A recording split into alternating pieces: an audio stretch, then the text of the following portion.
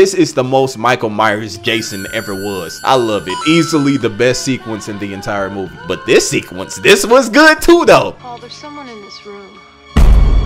someone in this fucking Sackhead Jason is probably the most unique and underrated Jason design ever. It's like the TASM one suit of Jason's. It's so goated. Jason, he's at this point in the film, this is when he decides to just he lets loose. He goes crazy. You cannot tame this man.